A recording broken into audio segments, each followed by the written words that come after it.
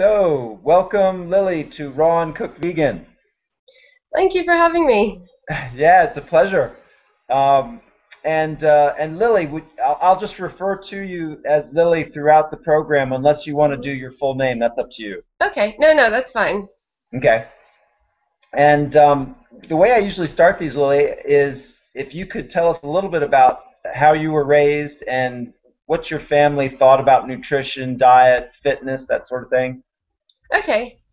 So um, I um, I live in London now, but I grew up in Northern California, um, in the redwoods, like in the country.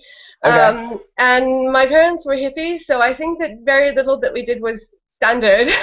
um, um, and like my my mom was really interested in in nutrition, um, so you know she was like very into like vegetables and organic, and we had a garden and things like that. Um, Right. But um, we weren't vegetarian, which looking back on it like seems odd to me because that just seems kind of like the obvious progression. Um, but we we weren't vegetarian, so um, I don't ever remember either of my parents really cooking. like, so we didn't do things like like eat dinner together at the same time or anything like that. So I just kind of remember individual things that like you know that I used to have like um, sweet potatoes, potatoes, um, salad, mochi. We um, that was like kind of one of one of my staples. Um, Mochi? yeah, mochi. Um, you know, you know the um, um, it's like um, it's Japanese. It's like blocks of um, like pounded like glutinous rice, or I don't know what it is, sweet rice or something, and it and like it, it, it um, it's like a brick, and then you put it in the oven and it like kind of puffs up. Um, Huh. so yeah, it's great. um, and brain, the, the grain, the the brain, the, the the brand that um that I used to have when I was a kid is I think it's from California. It's called Grainaissance, um, and it's really good. So I still Ah. recommend mochi now. Um, but like we also had like um chicken, like chicken soup and um you know, like turkey hot dogs and and things like that. Um, so I mean, the interesting thing is that um my mum was was very anti-dairy, and so she thought that she herself was allergic to dairy. Um, which Okay. I mean now I think like everyone is or, or you know should be allergic to dairy. Um, and so we didn't ever like have milk or anything like that in the house but I was allowed to eat milk products even though my mum was against it because my dad thought that it would be like unfair to you know kind of deprive me of something yeah that like yeah he thought was was normal. Yeah. um, so um, it yeah, so that was that was kind of I, I guess when I was a kid that was probably not like really uh, standard anything, but um, I didn't think about um, any kind of like sort of vegetarian ideas like not eating meat until I was like 13 when I read this book called something like The Young Person's Guide to Saving the Planet or something like that, and it had all of these um, like articles about you know like um, environment and things that you could do to you know like help stop global warming and stuff like that. Um, Very cool. and- Very cool. and it and it had in, in this book there was there was something about like how you should be vegetarian and I don't remember exactly what it said but it, you know I'm sure it was something about like factory farming and the environment this was like maybe 1990 so Yeah. um it you know like it, I mean I guess now it would be even more extreme all the things that it, that it said but so I became vegetarian because of that That's that's cool. Um, Um, Lily, can I ask you a favor? Can you yeah. just, just a little bit adjust your laptop so I can see slightly above your head, just a little bit? ah yes that that That's great. sense. That's great. Um, you know, that's that's an interesting area that you grew up in, uh, and and I think aren't there like some Earth First people up there? Yeah. They, yeah, yeah. That's exactly where the Earth First Century is. Um, like Judi Bari was uh, was like a sort of a neighbor. We lived on the same road. It's like um, um, outside of the town is called Willits, and like there are a few kind of mountains outside of it where the sort of people lived, like the hippie populations were, and that's one of them. So yeah, it's exactly there. Very um, interesting. Very interesting. Yeah. So, I yeah. drove through there, and it's it's beautiful, and it's very different than other parts of California. Very unique area. Yeah. So um, I mean, it's funny because when I was a kid, that all seemed completely normal to me. But you know, like now, when people ask me, like I said, I'm going to visit my mum because she still lives there in California, and they think you know, like beaches and and then they think Southern California, and I'm like, no, no, it's not like that at all.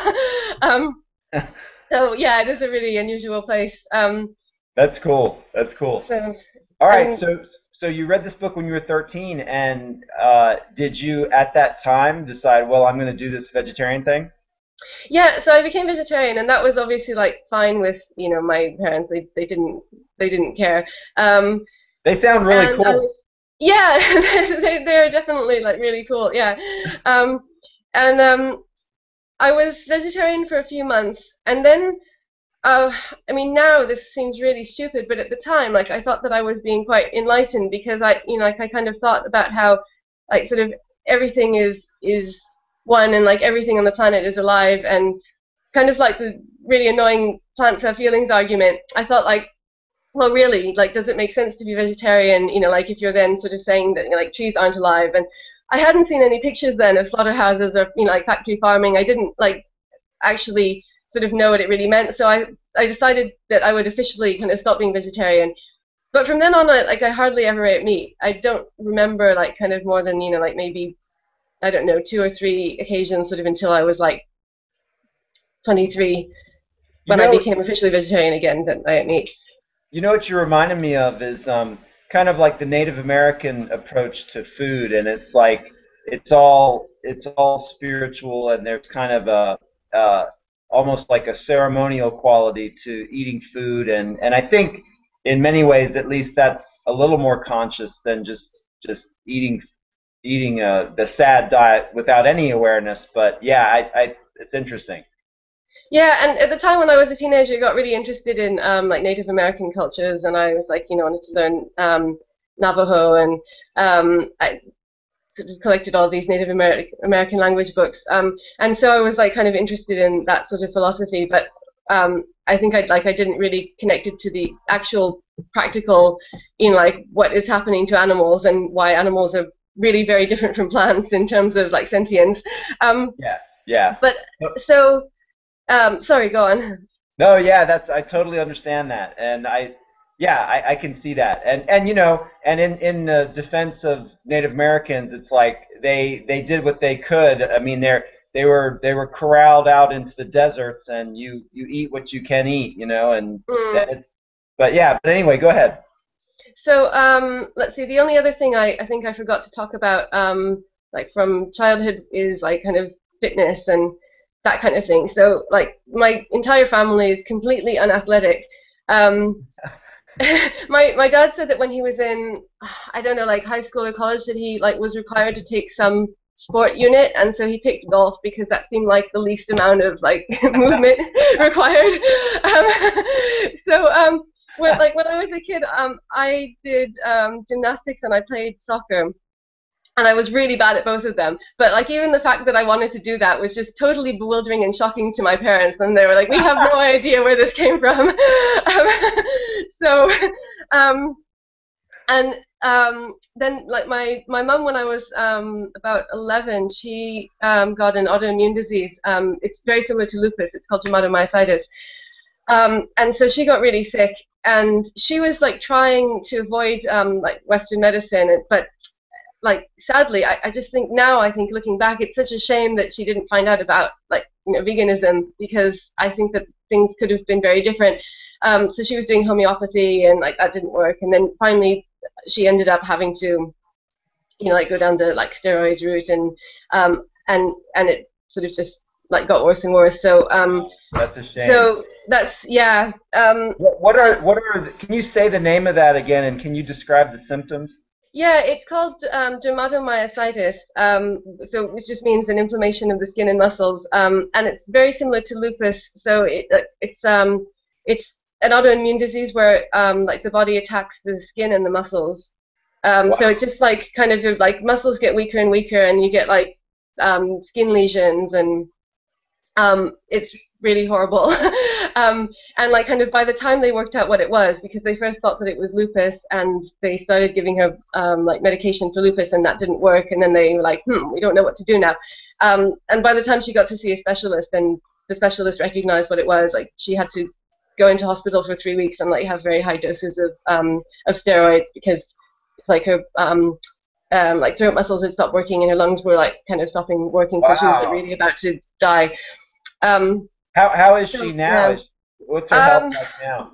now she's like um, essentially like she can't really go like go out of the house and she's in a wheelchair and um, Oh. because she's she's been taking like prednisone for like 25 years um, Wow. and like lots of other things as well because prednisone causes bone damage and so it's like really um, yeah not not good and I so I don't know if it's too late now but I like I was thinking Mc, Mc, McDougall um, is based in Santa Rosa which is like an hour and a half away from where she is so when we go visit I was thinking to like try to convince her somehow if she could go to see him um, Yeah, that's a great idea, Lily. And so I'm thinking too. I don't know how. What's her weight like? Is her weight? Uh, is she is she uh, thin?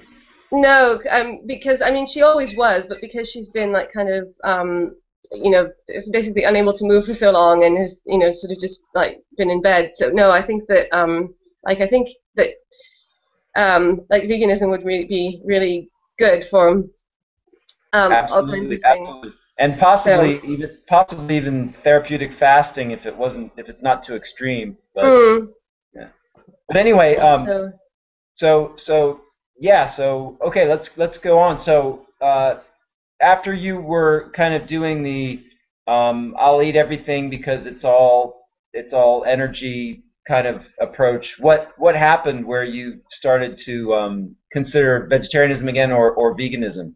Well, um, see, when I started university um, in London, um, I was 23, and I was like kind of, I I would say like, sort of uh, almost vegetarian, but not not completely. But like, I never bought meat or like you know cooked meat at home or anything like that. And so it kind of like, occasionally I would like, you know, get like I don't know a chicken sandwich or something.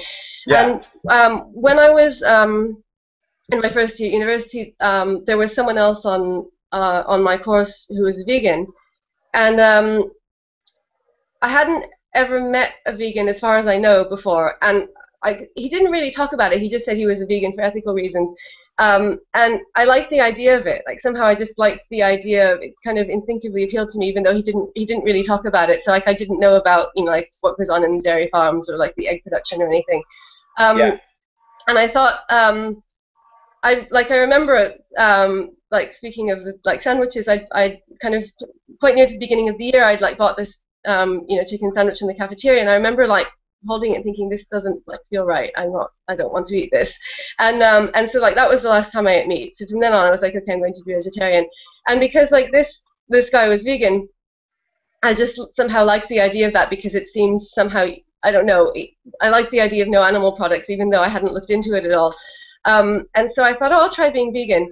But um, I wasn't actually like a complete vegan because and this sounds really silly because this isn't something I hear a lot as a sort of impediment to becoming vegan. But I thought I couldn't give up honey.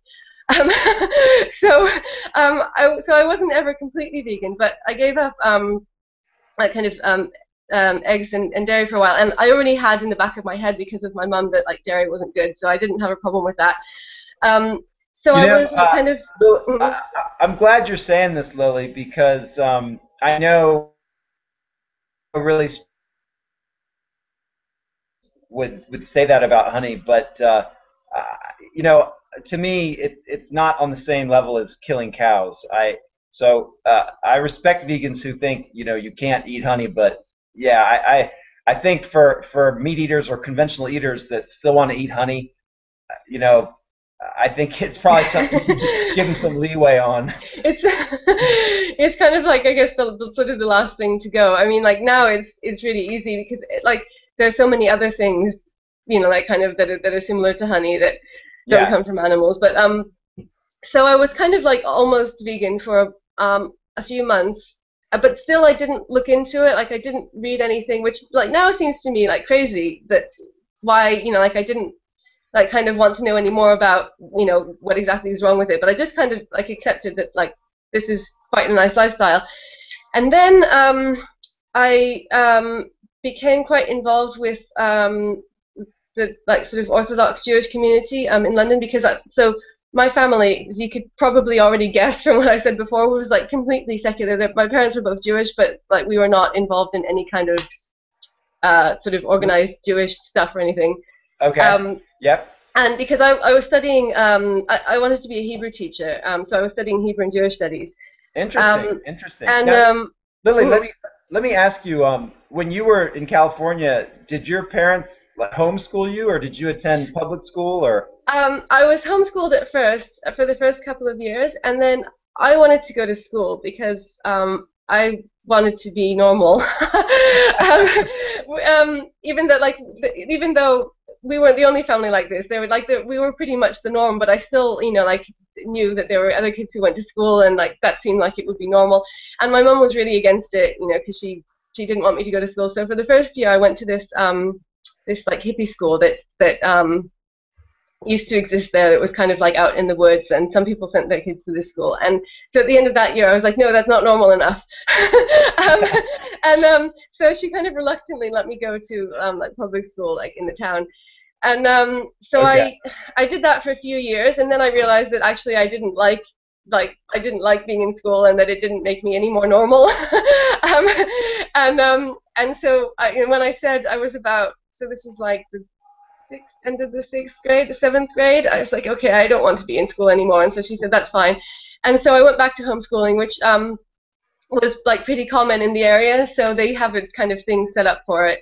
Um, that's and, really um, cool. That's really cool. So that was yeah, that was the end of the kind of official school. Um, and, and, I, mm-hmm. and I guess I guess you said this, but were were both of your parents from London originally? No, um, I have like no family, like nothing to do with um, the UK. Uh, what happened was when I was a teenager, I lived in Israel, where I do have family.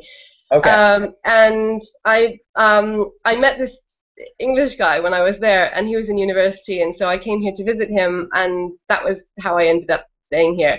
And then I decided um, that I wanted to go to university, um, and so I um, I was very lucky because I had these like you know bizarre, um, inadequate qualifications. But at the time here, they had it's stricter now. But then they had this very um, sort of liberal philosophy to students who are over 21 were considered like mature students, and they would take kind of other experiences in place of like all of the standard qualifications. And so that was how I got to go to university here.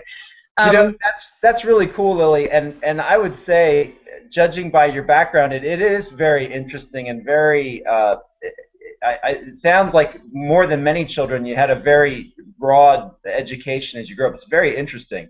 so I think I was lucky because in a lot of places they would have just said no. So, um, but um, I'd done a like TEFL course um, because I, my initial plan was um, to teach English, and then um, it was actually I was in Indonesia. Um, this is before I started university, so this is going back a, a, couple of years before what I was talking about just now. Um, yeah. But um, so I was lucky to get that job without a degree, but for most um, English teaching jobs, you needed a degree just in anything. Um, and so that was when I decided, okay, if, like if I want to go on um, teaching English, I'll, I'll do a degree. And, and because I was like, you know, I was interested in Hebrew and I'd um, um, yeah. and I spoke Hebrew, I thought if it's in something that might be useful, I'll do that. But I didn't really have any exact plans.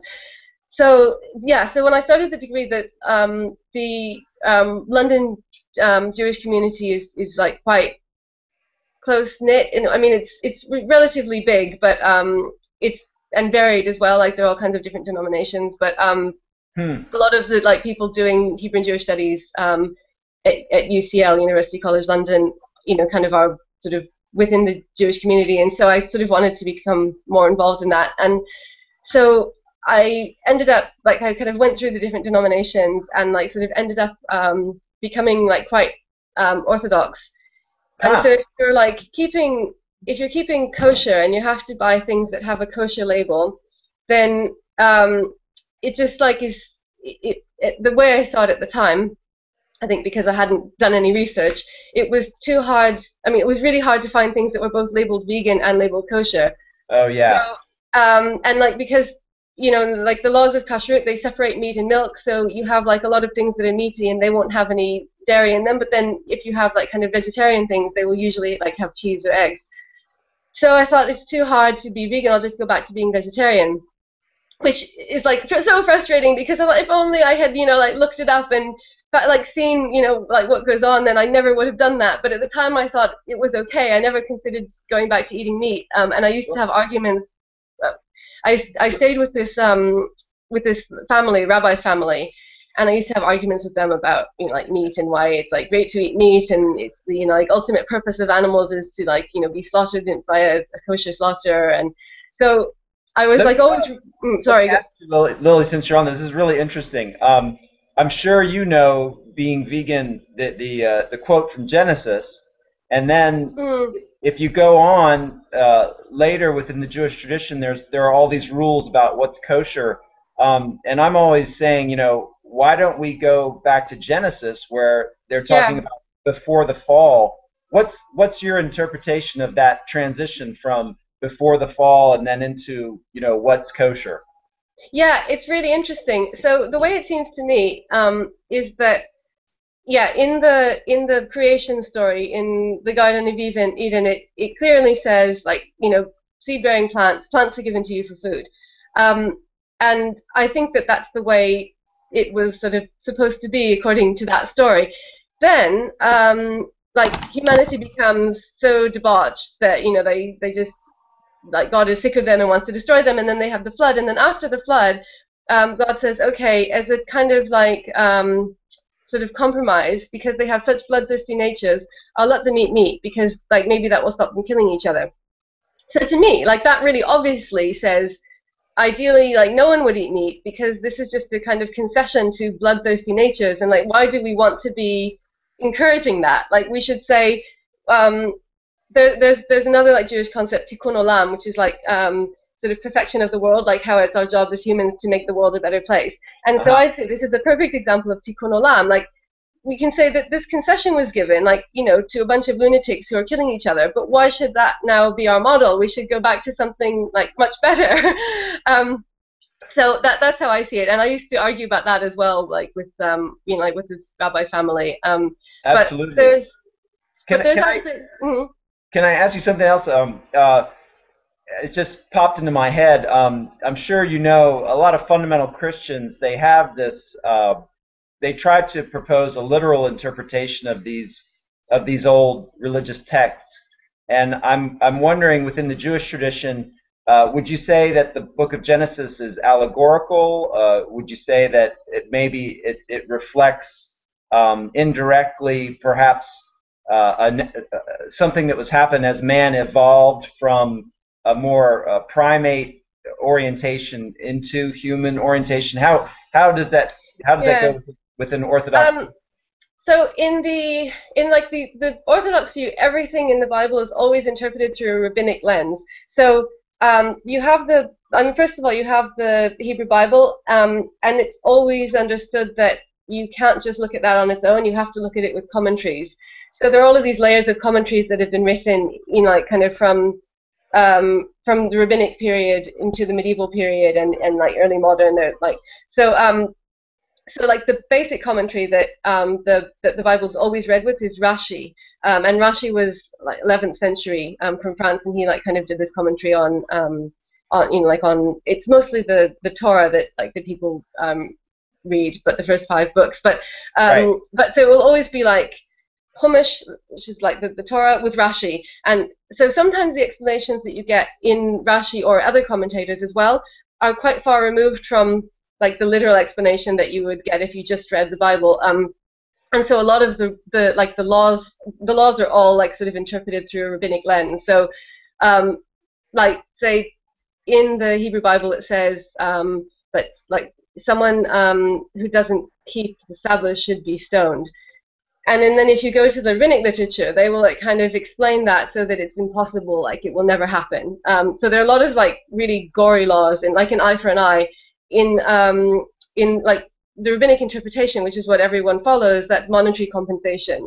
So like the uh, and I mean, I historically, I I don't know. I think that um, these these stories, and this is a kind of like progressive Jewish viewpoint, I guess. Um, okay, okay, that um, is that you had these different stories that evolved orally, and at some point they were redacted, and so you, like you get a kind of cohesive narrative, but they don't all come from the same tradition or from the same time, and so even like within the book of Genesis, like there are two different creation stories, and um, so you can Right. interpret it in different ways. Like the traditional interpretation is to say one of them wants to show you one aspect of creation, another one wants to show you a different aspect, but you could also interpret them as being two different stories by two, some two different streams of tradition that were sort of then put together and either you know kind of ineptly by by an editor who didn't realize that he was putting two stories together or like kind of intentionally as a sort of yeah. literary device so you get all of these different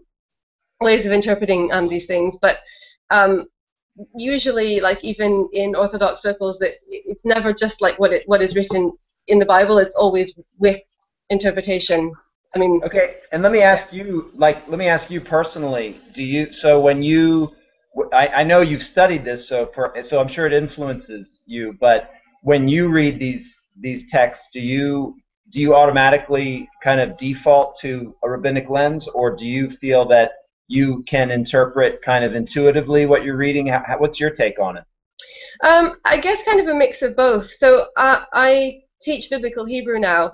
Um, huh. So at, at UCL, so I, I, just stayed there and never left. so all right. Um, so like the the stories that um, you know, like I teach in it's part of a language class, so you know, like kind of I mostly focus on grammar. That's sort of my my thing, rather than interpretation on, on, any kind of you know like sort of advanced level. But um, I sort of read the stories like now. I enjoy the stories and sort of take things that I you know remember having read in different commentaries that I like, and um, I think that's a, that's quite an accepted way of doing it in sort of in the Jewish tradition is just to sort of you, they, like they're these, they're these characters because um, that's what I like best in, in the Hebrew Bible. I like the narrative stories, and so you have these crazy family dramas, and um, and the characters are kind of um, like the patriarchs. They're sort of like um, eternal. Like in Jewish tradition, I think it's there's kind of a feeling that you know sort of that they're still around today, and they kind of change with the times, and um, that they are like these sort of living characters that we know rather than just um, almost uh, ar- archetypal archetypal. Yeah. I mean you do have like um, jacob is like clearly like from the trickster archetype. He's like a coyote sort of character. And um, so i think that they're just they're just really good stories that um, have like many different ways of interpretation. Um, and there's a saying um, sh- um, uh, Shivim Panim La Torah, there are 70 faces to the Torah and they're all correct, meaning that like you know there there are many different ways that you can interpret all of these things. So I think I like that, that is something that I love that. I love that. Okay, so so so what happened is you're you're kind of following a an orthodox Jewish approach to diet, and you're trying to meld that with your vegan uh, approach. So you went you went vegetarian to kind of try and make it work, and then what happened next? Yeah, so I did that for a few years, and then I I kind of um, I, I left um, that community and um, I moved somewhere else in London um, and like kind of wasn't like really associated with with that like rabbi's family anymore and I kind of became like sort of gradually a bit less observant um, mm-hmm.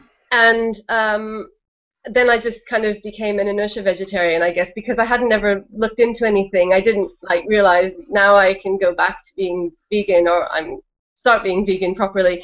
Um, so I just didn't think about it, and I was like quite happy being vegetarian. I thought I'm like you know vegetarian because of animal rights, and I just sort of thought like that's all there is to it, and that's good enough. Yeah, um, that's what I did and, for a long time. Yeah. And it, yeah. now it's like why? but um, so it's really frustrating. um, and um, so then um, I met um, my partner James, um, and you'll hear more about um, his side of the story from him. But um, we so we were both vegetarian for like five years, and then uh, like uh, you know after we met, um, and then um, last year, like kind of in the end of last year, he, he said to me um, he'd been thinking a lot about um, just like animal suffering, and he um, he's an artist and he has a um, a stall in Camden Market in London, and there are a lot of um, like pigeons that come to the market, um, you know, like looking for food, and and he said he'd like he'd seen a lot of pigeons that had like a broken leg or something, and they, you know, just because he, he was outside all day, he was just watching the pigeons and, and was like getting really upset, like thinking about the awful life that these pigeons have. Aww. And I think he, he started doing some research, um, but I didn't know. I think he started watching some videos on YouTube of like PETA videos or something, and he and I didn't really know this though, but um, he said to me like one day, I'm thinking of like maybe becoming vegan, and I said, oh, that would be great. I like the idea of that. Um, like still not having, having done any research. Um, but like again, it just appealed to me. Um, somehow not enough to have taken the initiative to you know do it myself or investigate. Um, so um, then we thought like, oh, I don't know, maybe this is a crazy idea because he's allergic to nuts and legumes. So uh-huh. we thought at the time we were like, you know, like would it even be possible to become vegan like with with a nut allergy? And like obviously now that's just ridiculous. But at the time we were like, oh, I don't know. So um, yeah, I can totally can totally understand that. Yeah, yeah. And it, especially because because he's had this allergy, he's like kind of um, always been very cautious about like food that he doesn't know, and so he um, he'd kind of like you know grown up thinking the safe things were like bread and cheese and Mars bars, basically. So, um, so you know, the thought of like we're not being able to have cheese and like what will we replace it with, and like would this be possible? Um, and so, like, still not having done any research, I said, okay, um, like I'll just stop buying anything with animal products in it, and then we'll see how we manage. And um, he was saying like maybe we can gradually phase things out over the period of a few months, and um, then we um, we went to um, stay with his mum who lives in Wales, like just for a week. Um, this was like at the end of December last year, and so I never would have thought of looking on YouTube. Um, but like James likes YouTube, and like he has a channel, and he's kind of always goes to YouTube to look for things. And yeah. so he, he found he found all of these videos. So he found I think the first one was um, 101 Reasons to Go Vegan, um, but you often see it like come up on the side of things. It's it's kind of like Gary Yourofsky's speech, and we watched that, and we'd been thinking, you know, like we'll talk about like maybe phasing things out, seeing if it's possible, and we watched that, and then we were both just like, that's it, like there's no way we can ever go back, like, and we were both just like so horrified that these things are not public knowledge. We were like, why doesn't everyone know about this? Like, you know, about the dairy industry and the eggs. I was like, eggs, like, like this like they grind up the chicks alive. Like how is that even possible? Like and um yeah. and I was like. It, it's amazing. It's it's it's it's horrifying. It's horrifying. Yeah. Yeah. And so we watched a few videos like that, and then we were like, you know, there's just no way that we will ever eat any animal products again. Like that's it. It's not like you know, and, and then, then we weren't even like worried about you know like whether we will have enough to eat or not and then like obviously as, as we did more research after that we've like discovered that like it's ridiculous to think you won't have enough to eat because there's so many different things that you know like you don't need nuts and you like you don't need pulses and then we found out about um know like the um like 80 10 10 like kind of you know you really you can just eat fruits and vegetables yeah. Uh, and like all of the you know the various different things and it's like it's not an issue at all and so like now it just seems laughable you know, Lily, you're reminding me of something. Uh, Carlo, a, a gentleman I interviewed recently, he, he was saying, you know, even if he found out that it was healthier to include some animal products, he wouldn't because of ethical reasons. So I think yeah. it's kind of like what you're saying. It's like it doesn't matter if if I get sick, I'm not going to participate. Yeah. yeah. Exactly. That that was exactly how we felt. Um, and so fortunately, it turned out to be just the opposite. But you know, like we but we didn't care at the time. We were like, no. Yeah. There's just yeah. no way that you can even look at those things as food. I think like once you know, um, and um, definitely. So I think like yeah, from from then on, um, we we've just been like kind of um, felt like we somehow wanted to do as much as we could to kind of like make up for all of the time when we didn't know and like weren't vegan. And so then you get into doing like how can you kind of spread the message but you know like without annoying people? And because um like I yeah, remember yeah. once like sort of towards the beginning of this, um, after like I, I, came back to my department because that this happened during the winter break, and um, and I was like talking to um, our administrator, the departmental administrator, who like isn't even vegetarian, and like I was talking about the eggs because I just watched this video um, about the eggs, and I was so horrified. I was like. And then they like they take all of the chicks and they suffocate them or they like throw them in grinders and she was like and and then I was like, oh, I'm sorry, have I said too much? And um and uh, and you know she was like, oh no, I'm really shocked. I had no idea. I like I don't think um I like I don't think she's like actually changed anything. But I felt like well at least like she you know she's heard of this now and so maybe yeah. it's like point. Yeah. Um, but um, because I just felt like this should be on the news. Like, you know, this should be the most important thing that everyone is told before they're told anything else. Like, nothing else is as important as this. Um, Amen. And so, Amen. And, and like, it's funny because I think like, I think when when I was vegetarian, I I didn't really see it like I I knew that like slaughterhouses like were awful and that you know like killing animals was bad, but I somehow didn't it didn't seem as urgent as like after becoming vegan because at yeah, the time I was like, well, uh, sorry, go on. Yeah, that's so true, Lily. That was the same for me. It's like really? I, you know, I I'd made this decision to be vegetarian, and I and I just I didn't think I could do the vegan thing nutritionally healthfully, you know. Mm-hmm. And I had this like belief about it, so I was like, well, vegetarian's the best I'm going to do, and and I didn't see the connection to the dairy industry and yeah. And and yeah, and just the the slaughter, man. It's it's yeah. and and and I don't even now like looking at it because it's so awful.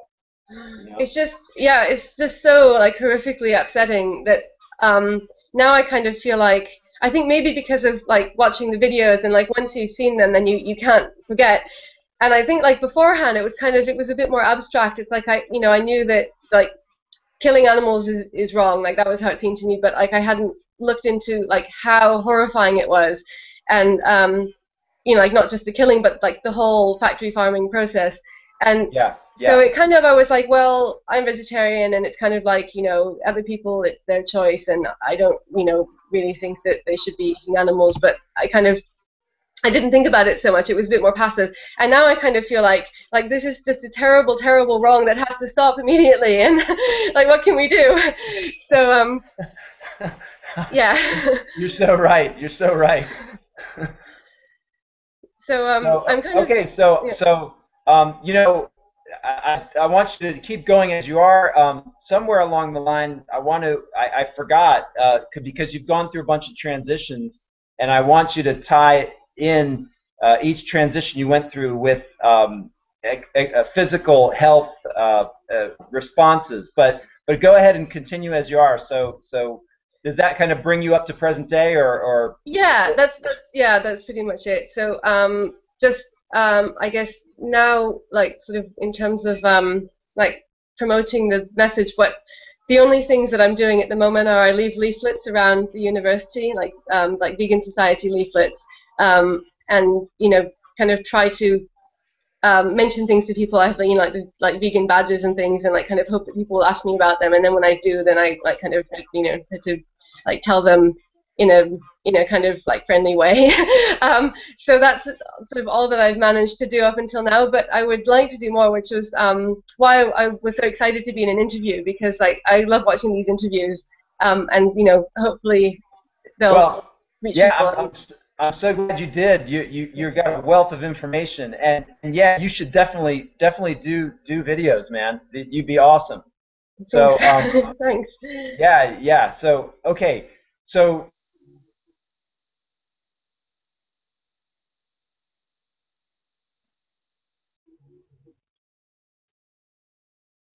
tell me a little bit about, if you can, um, as you went through these stages, but you grew up eating uh, animal products. Then 13, you went vegetarian for a while. Mm-hmm. Then you went back, and then you went vegetarian again, and eventually vegan. So as as you went through these various stages, would you say your health was relatively constant, or did your health uh, express uh, uh any uh, negative effects of these animal product periods?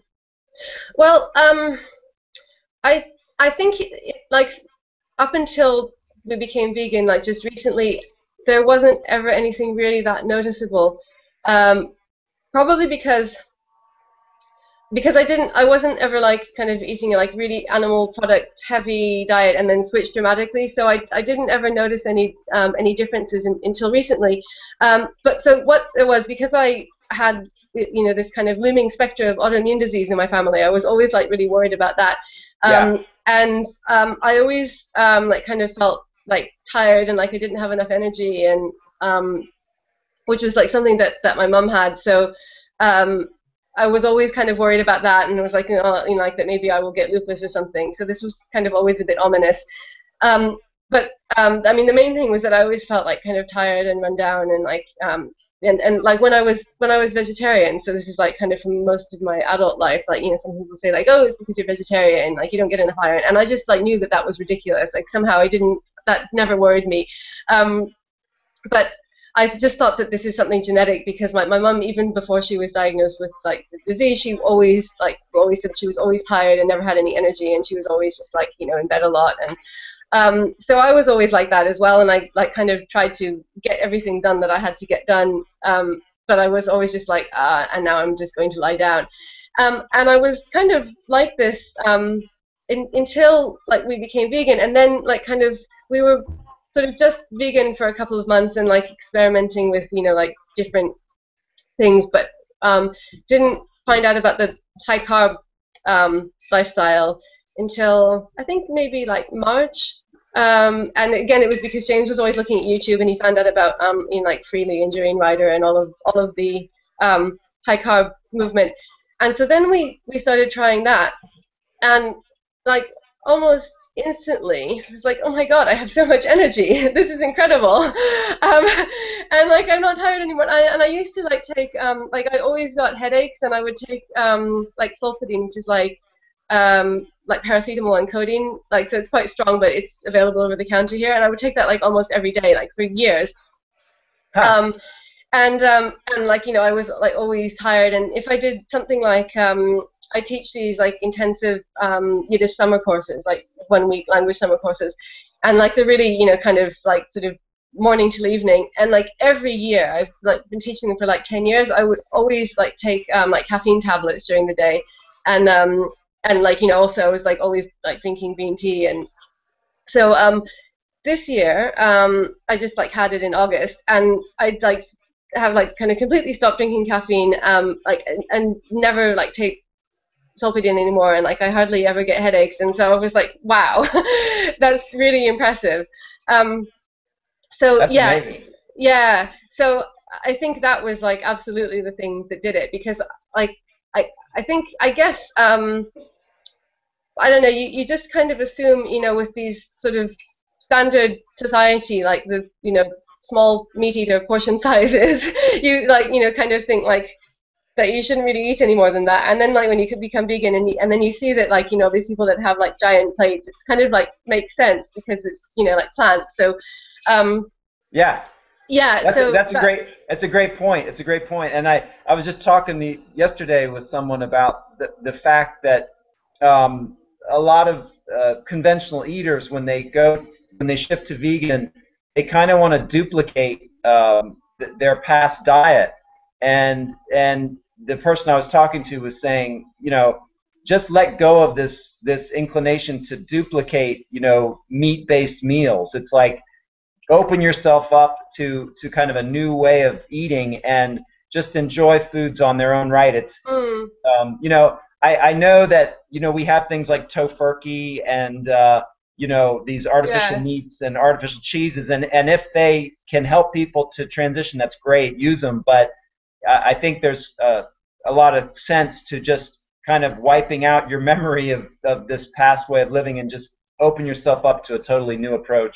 Yeah, and uh, no, it's it's really great. Um, I mean, I think that that's um, the thing that like society finds the strangest is like you know if you bring like ten bananas in with you in the morning, um, because like just being vegan, I haven't really had you know that that many like negative comments or anything. But um, yeah, that they're like like what is in that smoothie? And by this time, I think if you're like sort of into the YouTube like high carb community, like this all seems normal to you because it's like seems like everybody does it. And so I was like, um, let's some blueberries, ten bananas, and they were like, what? um, and um, yeah, and so we're like, I don't know, like you know, like for lunch you have like three plain potatoes, like that's crazy. um, yeah, yeah, yeah, yeah.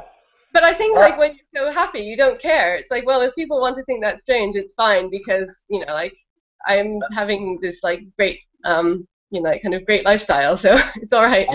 I love it, Lily. I love it. And and so for you, the primary thing in terms of health you've noticed is increased energy. Any other benefits like um, perhaps more regularity in, in elimination, that sort of thing? Um, I haven't really like paid much attention to um to Okay. any, but I think just generally, um, I, yeah, just like no aches and pains, like because I yeah I used to have like aches and pains, like muscle pains all the time, and um, and like I said, headaches and like just kind of feeling like fatigue or like you know I'd kind of want to go to sleep for most of the day if I could.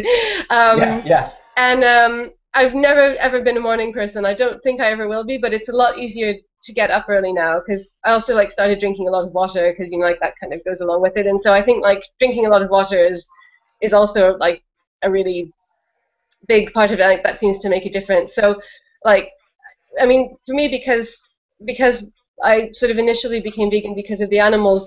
This is all just like a great side benefit, but it was so nice to find it out as well because like obviously there are lots of ways that you can be vegan and you don't have to be high carb and you don't have to drink lots of water but like because those things are also you know connected you hear people talking about them sort of in the same community it's like why not and then like well this is great so um, you know, this is a really interesting point you're you're making here and i think um, it's it's kind of good in a way uh, a lot of people have kind of gone to this very very strict kind of raw thing and, and learned a lot and then maybe come back a little bit and and maybe included some cooked foods, but they've learned some great principles. Um, now, now, unfortunately, some people who've gone really extreme got fed up and then went back to eating meat, and I hope that doesn't happen too frequently. But I think I think you're making a great point. It's like there's a lot to learn there, and then you can kind of work out your own vegan approach that's that's very healthy, but perhaps not super rigid about you know 100% raw or you know any any too too too rigid in any area you know yeah that's what i think because we um we kind of we sort of experimented with a few different things um like 100% raw is just something that like it's just not for me i can't do it i um um and i know like some people would say that is because you're addicted to cooked food but i think the whole cooked food addiction thing is um happy healthy vegan has a really good video about that and i just think like I, I agree. I agree. I, I think that term is, is has really very little value. I, I, I don't. I, yeah, I agree with you.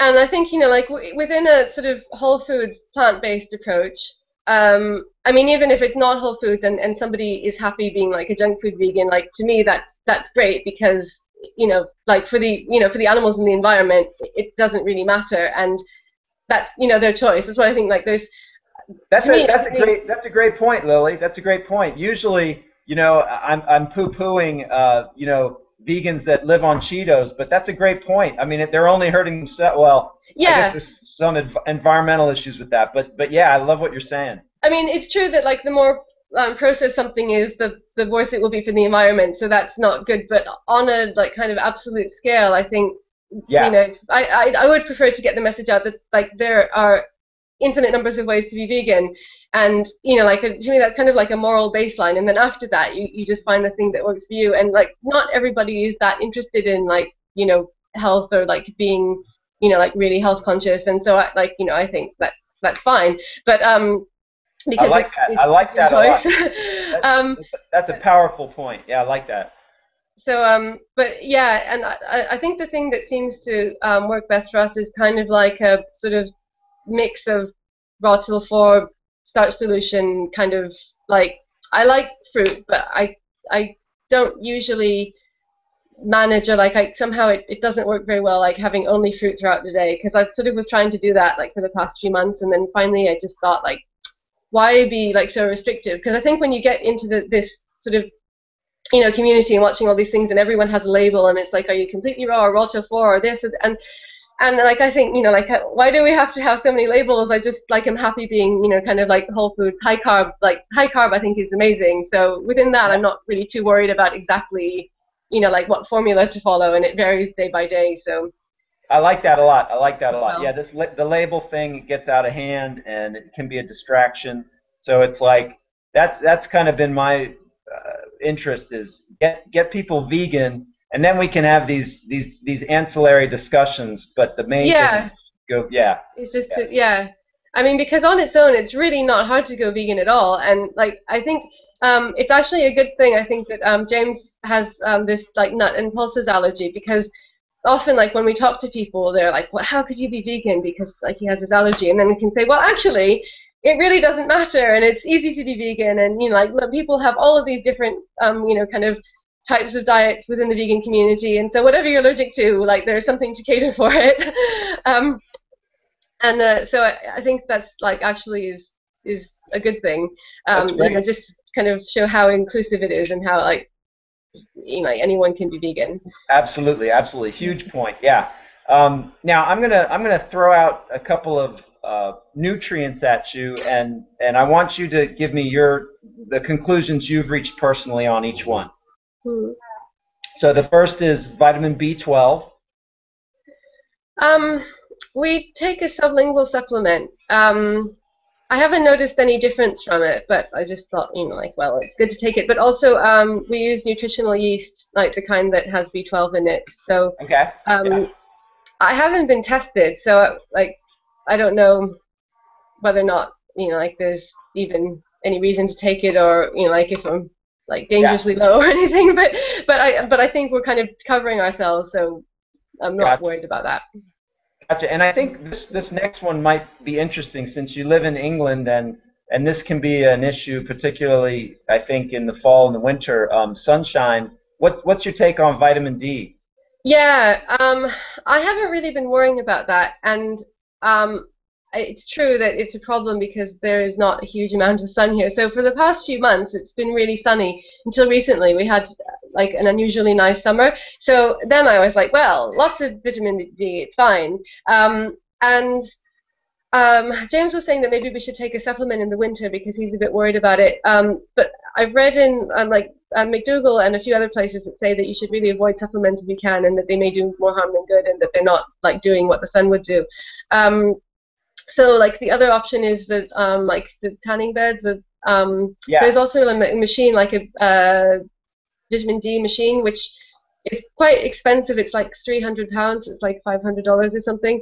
So I don't know if it's like if it's a long-term problem. Like I would pro- I would think that the machine would be better because you like once you bought it, you wouldn't have to buy it again, and then you wouldn't have to go to the tanning places, which just like I can't really see myself doing. Um, so, but I mean, I haven't done I, that. I totally, I totally, hear you. I, I totally hear that. Yeah, yeah, yeah. Um, yeah. So for the for the moment, I'm not worrying about it, um, and I, I don't know. I think James is more worried about it than me. So probably if we find some solution, it will be because he, you know, is kind of like um, instigating it. Um, yeah, but that, yeah. that, that machine. It sounds like uh, I, I don't know if you're familiar with Don Bennett, but I think he talks about building your own sun lamp. Uh, uh, so, ah, okay. Yeah.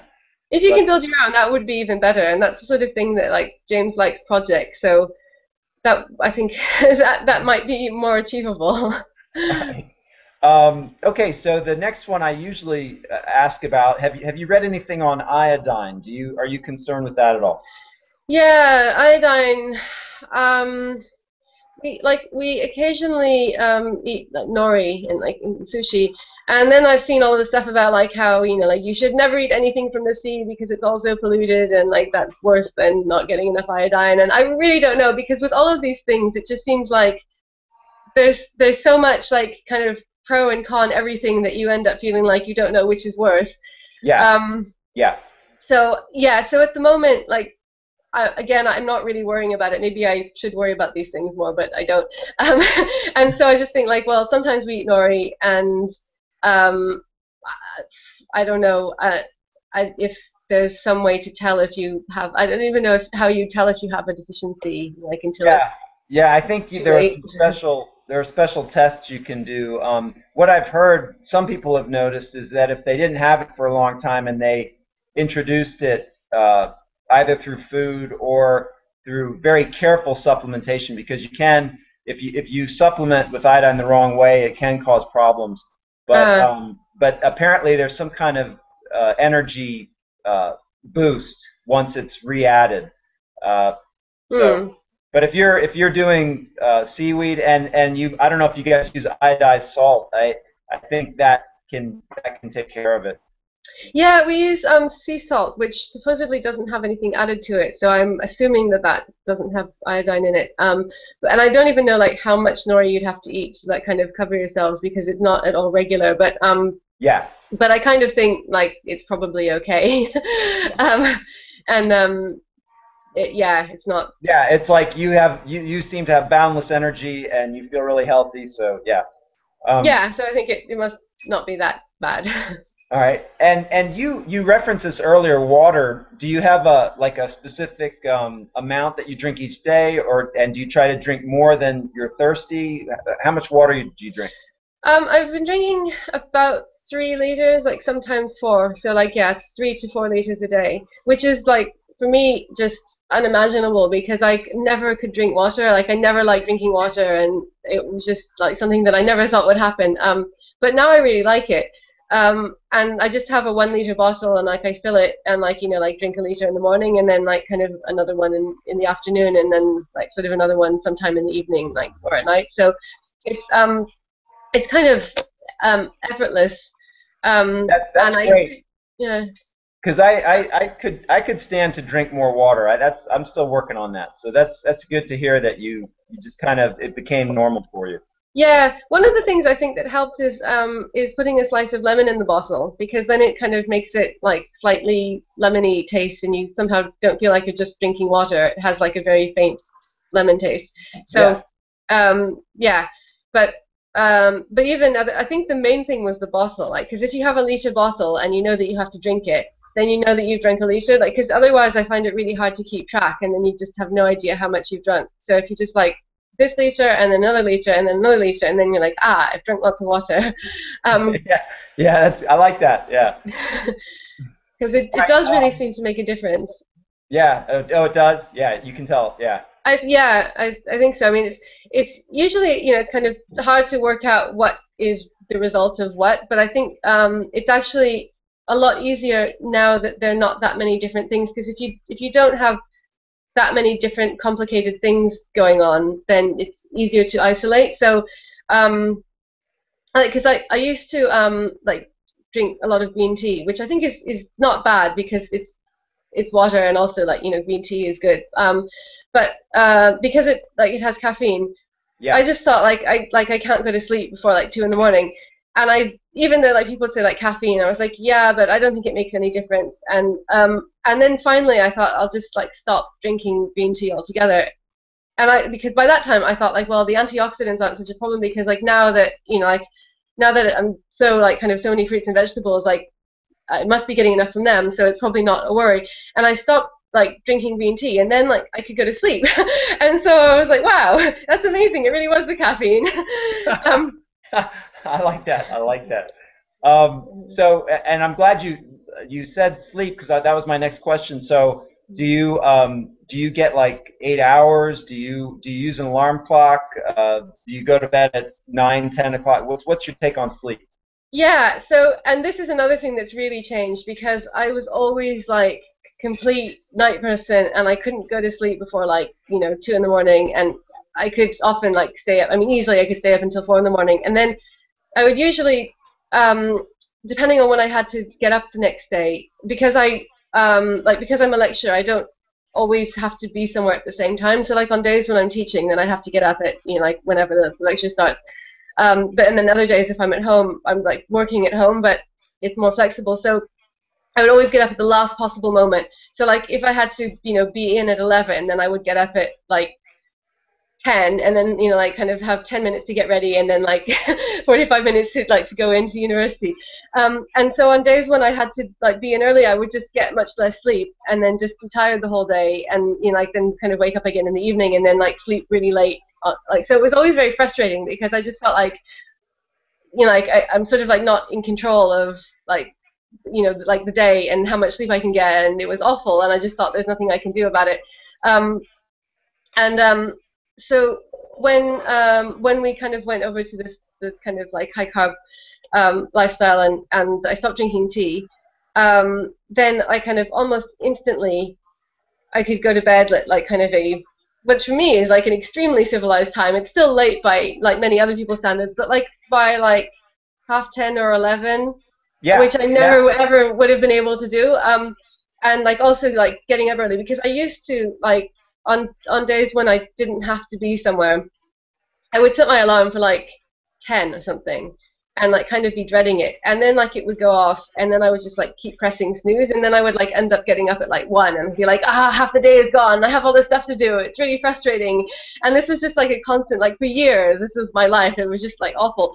um, so like now, finally, like like I said, I'm still never going to be a morning person, I don't think. But um, so I'm like jealous of people who just like kind of get up at like seven and, and you know they're like I am up now. Um, but I can now like I can get up at like nine and it's not a problem. So for me that's quite an achievement. Um, and great, yeah, I, I like that because it implies to me that you you let yourself sleep as much as you want. I like that.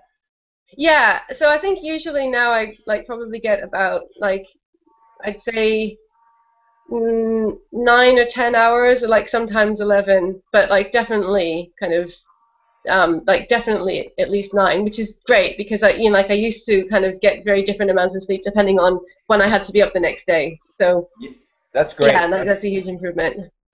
All right, let me ask you. Um, if you do you ever what, what's your take on alcohol? Will, will you ever have like a glass of wine or a beer, or do you think that that's just uh, totally unhealthy? Um, well, I've never really liked alcohol, so mm-hmm. um, like I just I just don't like the taste, and so I've never really drunk that much. Um, and um, it's actually been kind of a relief that sort of in, in, in kind of like an excuse, I guess, that sort of the high carb community, like that you know, like yeah. drinking is not really a thing because I can like kind of now feel like you can say, oh, good, like I never liked drinking, so like now I really don't have to like bother um, trying to pretend that I do. Um, because I, you know, because I would try to like make myself drink wine. Like you know, occasionally places like people offer you wine, and so I was like, to, to be like social, yeah, yeah. yeah. So I wouldn't like, yeah, again, like if someone gave me a glass of wine, like I wouldn't say no, but I would probably like just hold it and not really drink it. um, and I mean, but I think if I liked it, then I probably would drink it occasionally. Um. But like I don't like it, so it's not, it's not a loss. Like I, I don't miss it. Gotcha, gotcha. All right. Um, and you touched on this earlier, eh, but since you've read about it, maybe, maybe you can add just a few tidbits. Uh, and it's the animal ethics. And what were some of the things that you came across that just really you found, uh, you know, hard to bear? Oh, um, it's oh, it's just all so awful. Um, I think um, one of the things that shocked me the most was the egg production, and that's because that was something that I really had absolutely no idea about, and I, I just I couldn't believe that that went on, and that you know like you know basically sort of every egg like every egg that you see represents a ground up chick. Uh, it was just like I can't believe how horrifying that is, and and that like they have their beaks cut off, and um, yeah. Yeah. like and things. And the other thing that surprised me actually when when we first became vegan was um, we listened to I, I think it was um, Gary Francione's lectures. He had some lectures on um, like free range and you know like why that's meaningless, and that really surprised me because I remember before like going to the supermarket and seeing you know like we would pick free range eggs, and I remember kind of vaguely thinking to myself, how is it possible that there's enough room, you know like on farms to provide enough free range eggs like to you know feed like to you know stock all of these supermarkets and like you know they're trying to get everyone to buy free range eggs. How is that really possible? Like it seems like they would need a lot of room like you know but i didn't actually put it together to think they don't really have that much room. It's just a big marketing ploy. And so when i found that out i was kind of like i knew it! Like of course it doesn't make any sense. Like why did i fall for that? Um, because you kind of believe, you know, like what they say. They're like, ah, oh, free range, and they have pictures of like, you know, the happy like chickens like strolling around their farm. And I think because people in their heads, you know, when you think of a farm, you think of like something like happy and idyllic, and so you you kind of don't really question it too much. It's like, well, that's what they're saying that they're doing, so they must be doing it. And it's such, know, a, such a great point, Lily. And the same thing with the dairy. You know, you have you see these yeah. pictures of cows happily grazing and it's, yeah.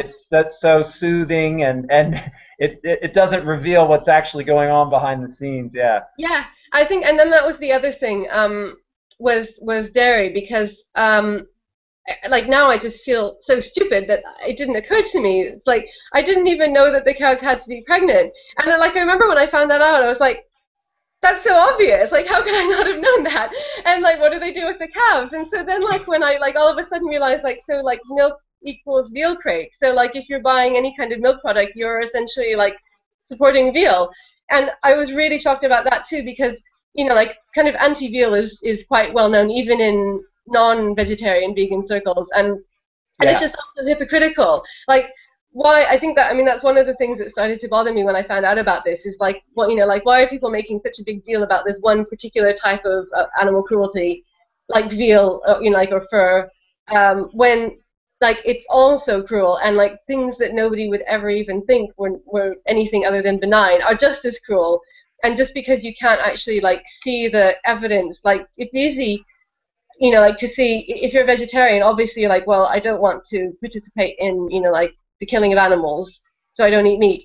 But eggs like those are just eggs. They no animals are killed. Like that's just how you know like you wouldn't i think it's harder to um it's harder to put it together. And so that was why it's like so frustrating to feel like you've unwittingly for all of these years been participating in something just as bad.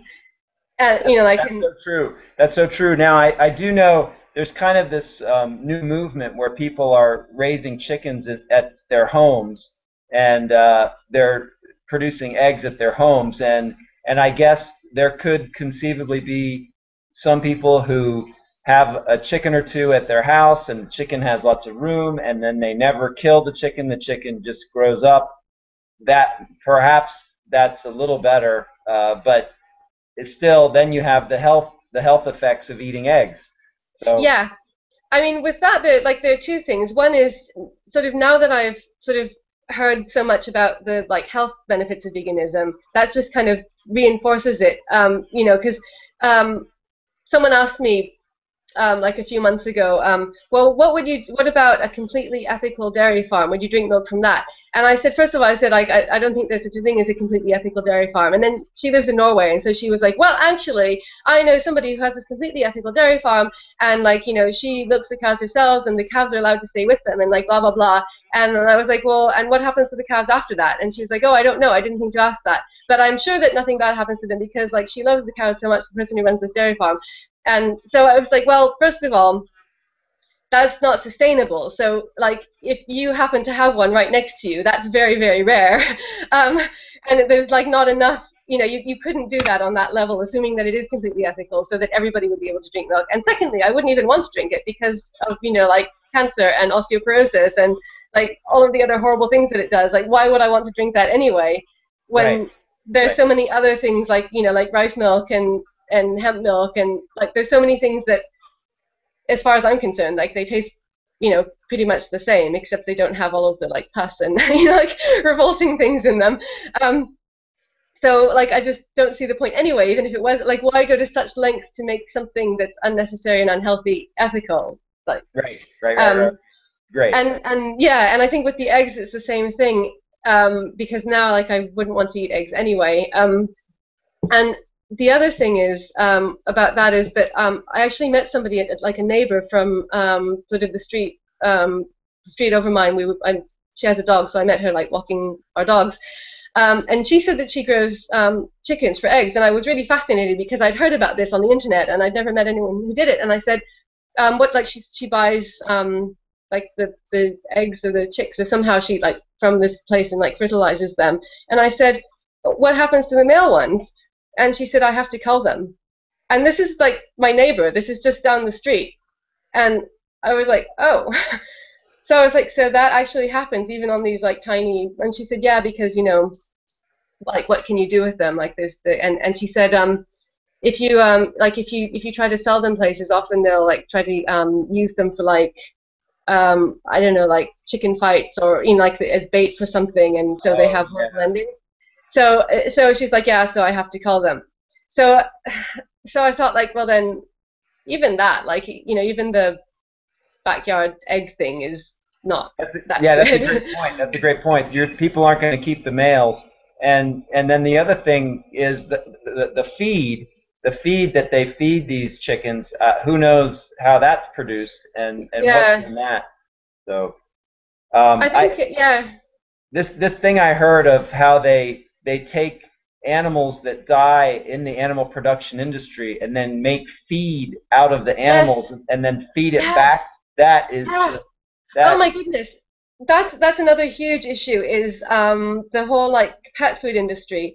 So um, when like when we went vegan, our our, our dog went vegan as well, um, because yeah. Somehow, this is another thing. When I was vegetarian, somehow it never really occurred to me to question. I just thought like dogs eat meat, and you know we got him this um, you know, like sort of good quality, like organic, blah blah blah, um, like food with meat in it.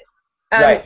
And then I and I didn't ever like giving it to him, but I just kind of felt like this is what you have to do if you have a dog. And then James said to me, he'd like he'd done some research and he said like dogs can be vegetarian. And I was like, really? And like, because that was another thing that had never occurred to me. And it's like, why not? Like, why isn't this more well known? People just assume like they must need meat. They're dogs. And so we started looking into it because after we were vegan, it like just seemed even more wrong. Like you know, after I'd seen the videos and the slaughterhouses, and I was like, it's like it's, I can't be vegan and then like buying all of these like slaughtered animals like to feed my dog. If you know, and if he doesn't even need meat, then it's really ridiculous. So, so our so we we switched um, our, our dog tails um, to um, being vegan, and then and then we uh, we adopted another dog, um, Panda. Um, so now we have two vegan dogs and like they're fine. And like they're they are like thriving and it's absolutely great. And like they have loads of energy and you know, you know they, they do really well on it. I'm so glad you brought this up because i think um, uh, uh, you know people who aren't aware of these issues might say oh your dog's a carnivore. How can you do that? So um, can you tell us is there a uh, a vegan friendly uh, pet food that you found?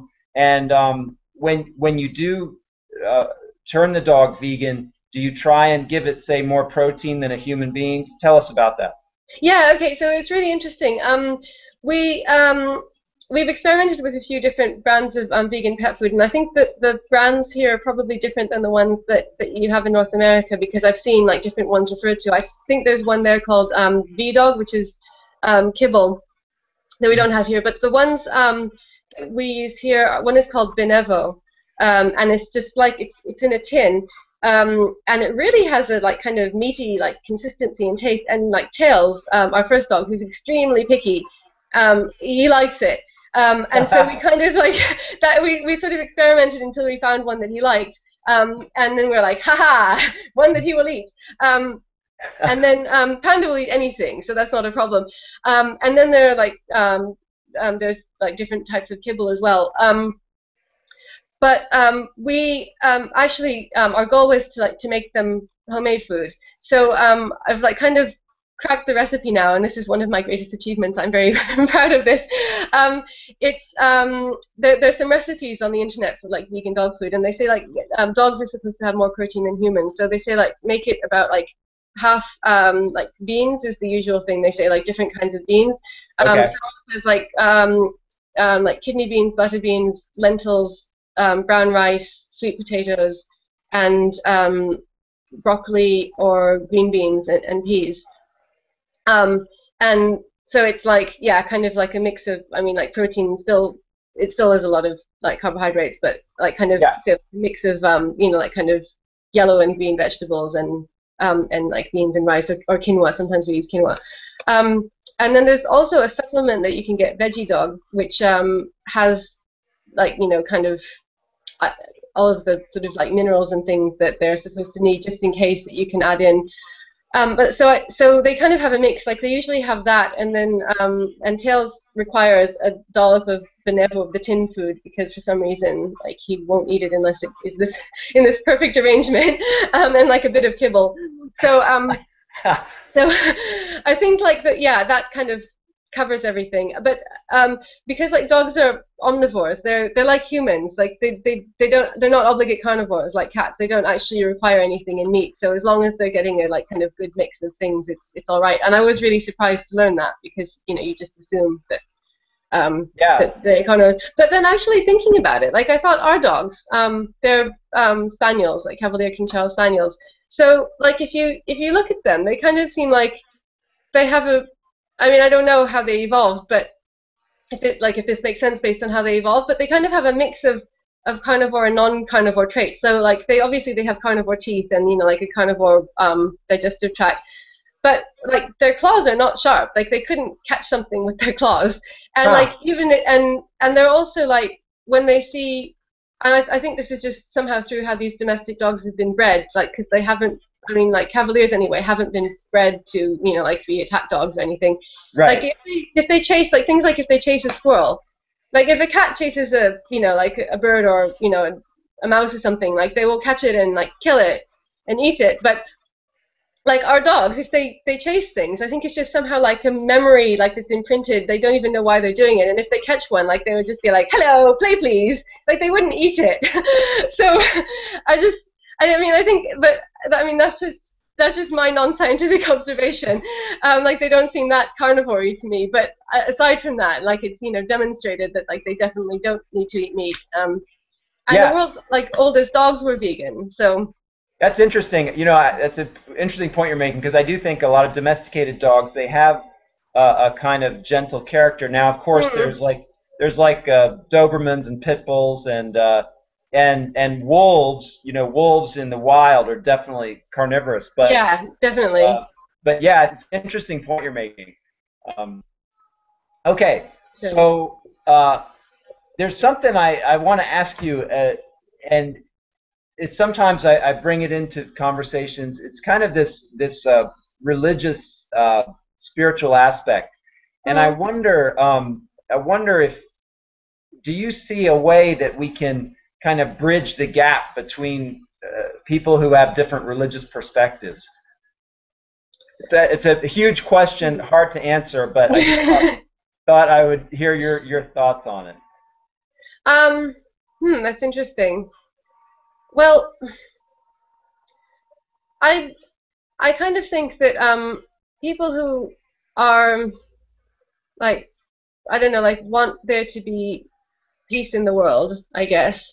That's those are like might be people coming from all different religious perspectives, and if they're sort of like looking for a way to do that, there are many like sort of different you know, like religious traditions that uh, sort of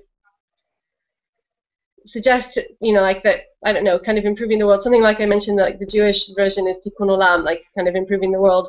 Um, It's possible, and so I think that like somehow trying to trying to promote, um, like you know, veganism and non-violence would be eventually. This is a very very slow process. I like I wish that it that it could happen quickly, but I'm imagining that it will probably be a very long process. But I think that like if we can somehow highlight the importance of like non-violence in all aspects of life, starting with you know like an end to kind of cruelty to animals, that that might make people more tolerant in other respects, um, like kind of you know able to sort of accept each other's religious paths. Because I think like so much of like sort of civilized human history is, is sort of based on the like exploitation of animals that I think that those things must be tied together. Because if you're like kind of regularly practicing like violence then it's easier to imagine like kind of violence against other humans.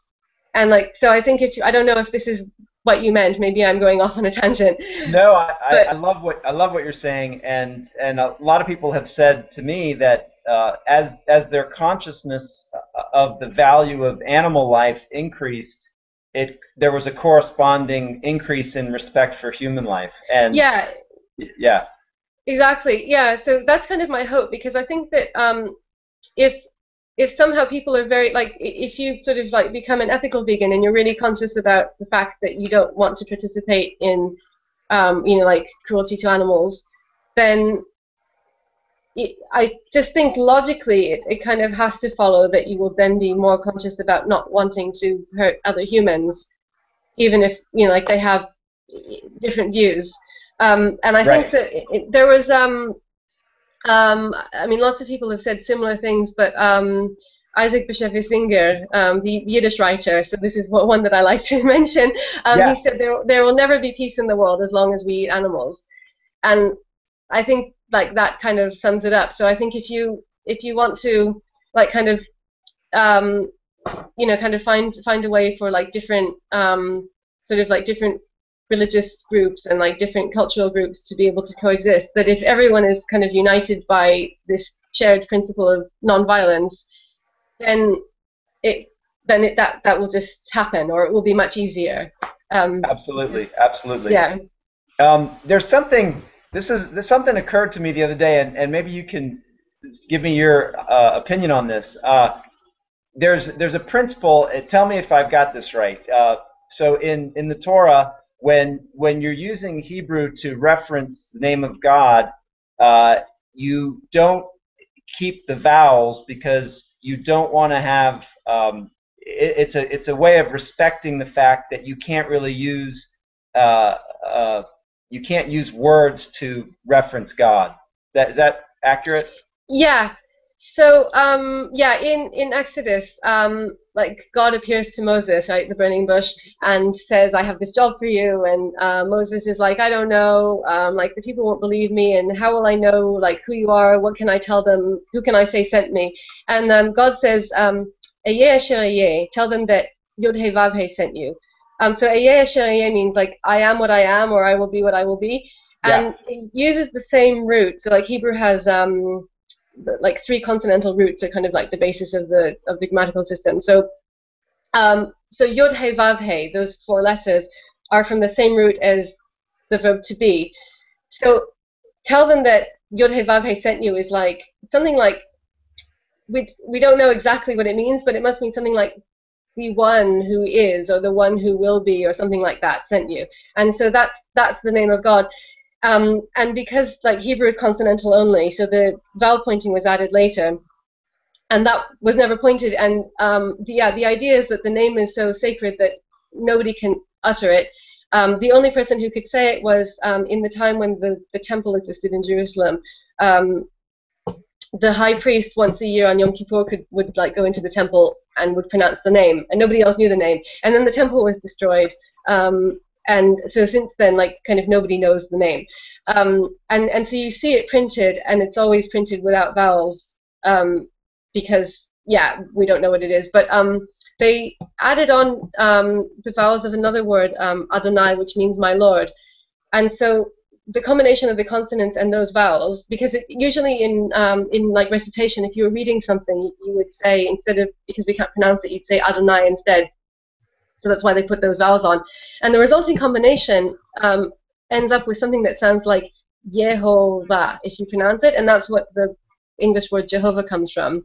Um, so that's like a kind of an attempt to pronounce that name. But yeah, it, so in the Jewish tradition, you you never say it, and um, usually, yeah that is this is fascinates me, and it, it reminds me, you know, in in Islam, there's this uh, notion that you can't represent God pictorially, mm-hmm. uh, and, then there's also um, a prayer in uh, in Hinduism. It's the Gayatri mantra, and there's a line in it which says um, it, it's a reference to kind of the nature of God. It says that from which all this derives, and mm-hmm. Uh, I feel like all of these principles are similar in that, you know, we're trying to use we're trying to use language to kind of point to to God, but we can't really completely use language to describe God because, of course, God transcends all linguistic uh, parameters.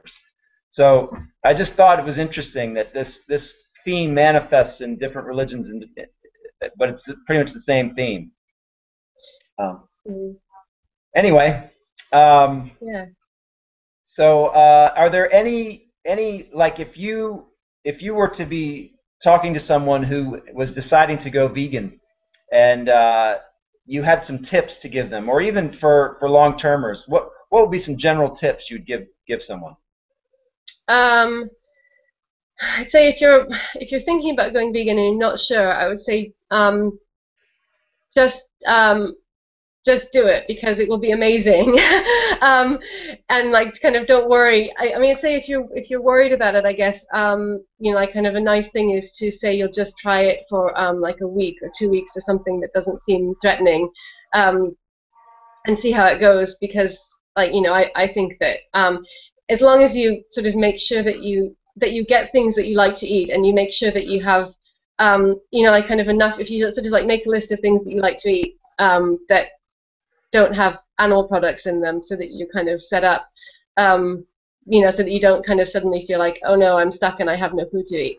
Um, and um, um, because I, I think maybe I mean I don't know, but I would imagine that that might be one of the reasons that you know people kind of think that it's too hard is because you know if, if sort of if you just get rid of, rid of a lot of stuff and don't replace it with other things, then you might feel like you have nothing to eat. So like right, kind of just right yeah, like trying to plan ahead, thinking of things that you like, um, and um, what else? I guess um, I think I don't know. Another thing to, to me that that seems sort of important is um, just to sort of find the right thing for you and not get too caught up in all of these different discussions. Like if you if you go on YouTube and you you know see all of the different wars between all of the factions, is to try not to pay too much attention to that and just you know like find something that you like.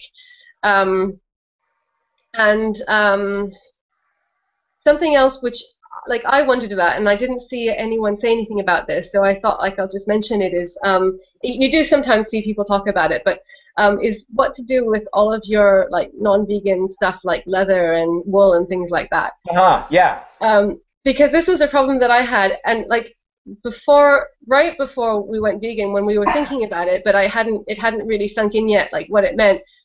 Um, I like bought these um, leather shoes, like these like uh, DMs, because I thought this will be my last chance to buy these because like soon I'm going to be vegan and I won't be able to.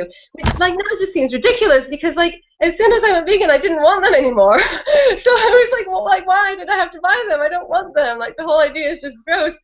And what will I do with them? And so I don't think that there's a right or wrong answer here. Um, and I guess I just wanted to say that because I was thinking like what should I do with them? Am I like kind of not really, you know, properly vegan because I still have this leather stuff? Um, and you know, like, should I save them because it's wasting otherwise? Um, yeah, I love, you know, I love, I, I love what you're saying. It's like, um, you know, the other day, my sisters came up and cooked some food, and they they had made some rice cooked with butter, and it's like, am I going to throw it away? I hate to waste it. You know, it's it's going to be it's it's kind of like a a, a sin to waste, you know. But uh, on the other hand, it's not really healthy food, and, and of course, I don't ethically agree with. Yeah. It's it's it's it's difficult. Yeah. So I've kind of come to the conclusion that um, I mean, whatever you feel comfortable with is the thing to do because um, like in cases like that, there's no like perfect solution. So in the end, um, I gave everything away to charity shops because then and then I thought mm, maybe that's not good either because then it's kind of like promoting you know like all of those things will be in the shops and other people will buy them and wear them but because I've seen some people suggest that you should bury them but then you have the whole like first of all it like is it practical to do that? And second secondly then they probably you know like if it's shoes they have some like probably non-biodegradable elements in them. And so so I don't think that there's a perfect answer and there's no point in like going crazy trying to think of like all of the different ramifications. But um but I think with things like that, um, I mean, if it's like, yeah, I think for me, if it's something like that, if it's food and you, you feel like it would be bad to waste it, but like, I think somehow the, you know, like sometimes people talk about how you sort of absorb the energy of the things that like go into you, and I would feel like I kind of somehow like I don't want to be any part of it, and I sort of felt felt the same with like the shoes. Like every time I wore them, because I for the first few months I was still wearing the shoes, and every time I looked at them, like I would just kind of feel sick and like think I can't wait for these shoes to wear out so I can get rid of them. And then I thought like if I'm going to like feel sick every time I see my shoes, then like that's not good. So I might as well just get rid of them now and you know like not have to think about it anymore. And then you know at least somebody who needs the shoes will be able to have them and you know at least they're second hand and so I think, it's great, Lily. I think it's great. Yeah, people are gonna people are gonna use these things anyway, and and why why waste it? Yeah, I I, I think that's the wisest choice. Yeah. But um, so yeah, and then. Uh, um, I guess, and then I guess the only other tip is um, is just to make sure that you eat enough, because I think that that might be another reason why like some people sort of go back or like try veganism and then like um, you know sort of go back to um, not being vegan um, is maybe that they don't like realize that you know because sometimes you hear people say oh like I, I I tried being vegan and then I just felt really weak.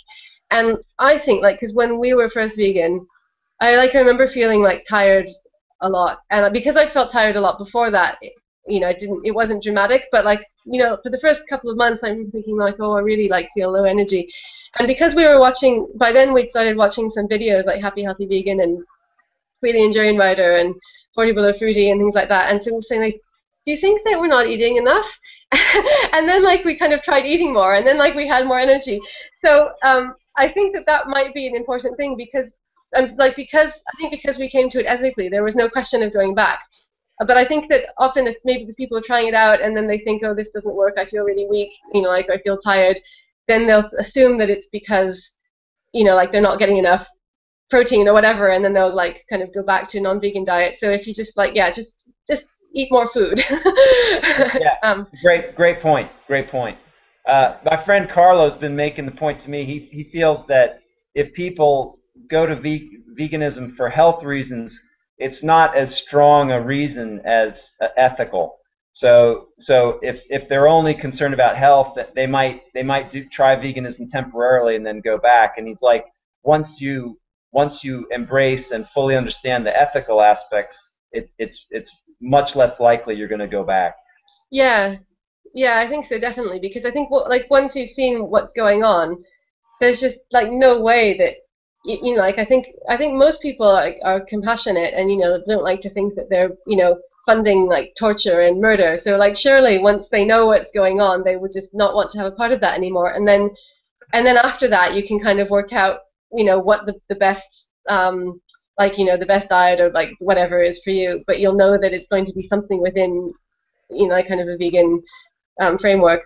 Absolutely. Because yeah, because otherwise, I I think that's maybe a lot of you see that happening a lot kind of on YouTube with you know like people saying like I tried this and it didn't work and I didn't like this and if it's like one specific regime and they're saying like you have to be you know like I don't know um, like the one that seems the hardest to me to follow is is like the fully raw. I mean, maybe that's just me, but it just seems like that's quite a challenge for a lot of people. So you know, like if you if you come to it that way and and then you can't do that, and you sort of have been told like this is the only good, you know, like this is like the only diet for humans, and you can't do that, then you'll just be like, well, I couldn't do that, so like whatever, I can you know like go back to anything.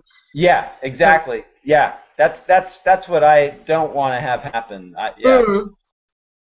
So yeah, I, I, yeah. love what you said earlier. It's about there's so many opportunity options within veganism. I, I love I love that you highlighted that, and I think that's a huge way to get this message to the broader public. That's what I'm hoping. I really, yeah, I really want to stress that as well. I guess for for like new people, people who are considering becoming vegan, is that like there's so many ways to be vegan that you like you're bound to find one that you like. And um, I kind of personally think that um, all of the sort of the emphasis on health it's like good obviously because it's you know like it's it's really it's great that that veganism also often happens to be healthy but um, I would kind of like that to be like a secondary thing like you know like and um, another good benefit of being vegan is all of these like health benefits but uh, but like yeah to me it's somehow the the emphasis on health is is kind of detracting from the importance of it I guess, or or maybe like of, of bringing more people over to it, um, because yeah. I think although I mean a lot of people come to it for health reasons, and like that's great because then that gets them there, and so it doesn't really matter how you get somewhere as long as you're there. um, but yeah, this this fear of people kind of leaving it again, I think somehow, um, yeah, I I kind of that's what I'd like to do is try to kind of get find a way to get out the kind of the ethical message. Yeah, totally, um, and there's a whole other area which we haven't touched on much, and I'll just, in closing, ask you uh, if you can share with us some of the points you've uh, come across in this regard, and that is the environmental damage caused by the animal production industry. Oh my goodness, yes, we didn't even mention that, and that like that was the other thing, um, because um, I'd known, you know, like I think that um, like factory farming was, was bad for the environment um, and you like pollution and water, but it was very vague. I hadn't really looked into it, and so obviously then when you start looking at all these things, you find out about all of it. And so like the whole thing of um, the like you know climate change, and I think now they're saying like 51% of um, like climate change is uh, estimated to be due to factory farming, and so that was so horrifying. And then like the water that it takes, and like obviously like cutting down the rainforest and all of that. It's just it's just like this is so bad for every inhabitant of this planet and for the planet itself in every way. like you, you couldn't create something like more dangerous and horrible. and like there's no downside to getting rid of it. So it's just like like my God, like why is this allowed to go on? um, because the, the yeah, and and it, it kind of and it's also interlinked that I think like somehow for me the, the environmental stuff isn't as like heartbreaking as the animal um, Yeah. like cruelty side. So Yeah. that's always the thing that is like kind of number one in my head when I think of it. But but the environmental stuff as well is like it's just that's huge. So um, uh, but I, I think that if if someone um, I mean, I, to me, I guess it's still. I think the the animal side is stronger because that's just like you know, if you see any footage from from slaughterhouses, like you know, or, you just like can't help but be like. I haven't even I haven't watched Earthlings because I I just I can't face it, like because I can imagine what would be in it, and I feel, want to I want to have seen it because it, it you know sort of thing. It's like a rite of passage, and you should have seen it. And I've seen like kind of some you know other things and like clips, and I just like I don't know, like Yeah, I won't be yeah. able to watch it. I, I haven't I haven't watched the whole thing either, Lily. I, I it's really hard for me. I I'll start crying, man. It, Yeah, yeah, and and I think it's it's really important for people to see those things so that they know. But then like I'm kind of like I already know, and I don't know if I want to see any more of it. Um, but it's so upsetting that that like to me that's kind of the most important aspect of it. Like you know you even like sort of aside from the environment, like to me that's kind of the strongest argument is like just so much horrific cruelty. Um, like that has to stop. But then the the environmental reasons would be enough on their own as well. You know, like because if all of this, you know, like talk about, you know, the, all of the other things that have to be done for climate change and like save water and like blah blah blah. But it's just all like a kind of drop in the ocean compared to this industry. yeah. so yeah, it's great, great points you're making. I mean, and it's it's like once you once you see these three giant issues: health, ethics, and environment. uh, It's amazing to me that you know this should be this should be just like standard education. Yeah, you know? Exactly.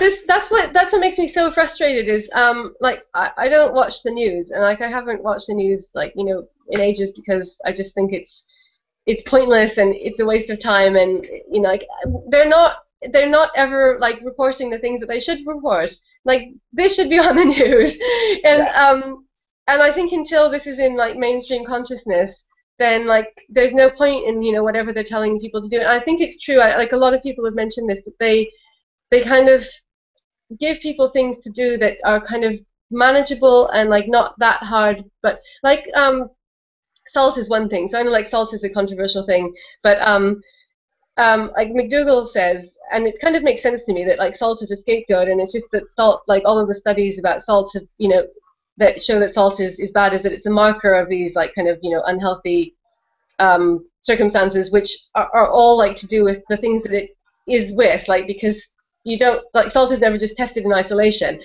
And i think that that makes sense. So that's just like one thing. People are told like reduce salt reduce salt but they're never like told reduce animal products or you know like cut out animal products.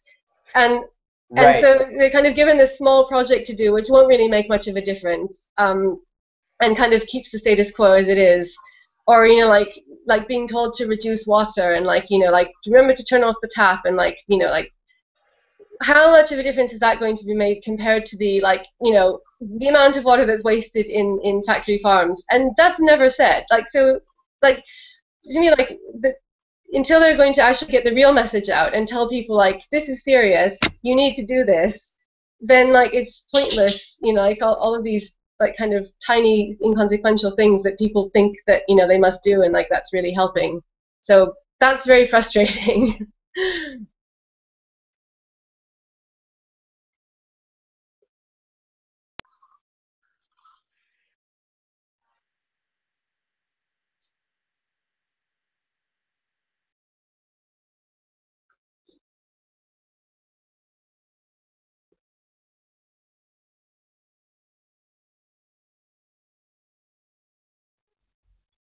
You still there?